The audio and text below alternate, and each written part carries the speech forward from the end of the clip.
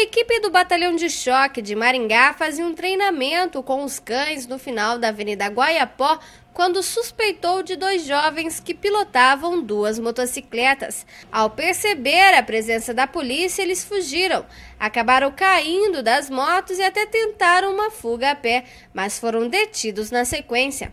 Os dois menores, um de 13 e outro de 16 anos, foram encaminhados para a delegacia, primeiro por estar pilotando sem permissão e depois porque as motos haviam sido furtadas, uma em Sarandi e a outra em Maringá. O gordinho chegou lá, né, fez uma vaquinha, fez 50 reais e deu para ele, pegou a pista.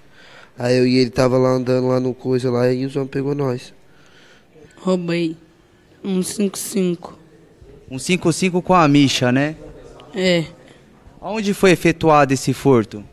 Lá no Big, primeira vez.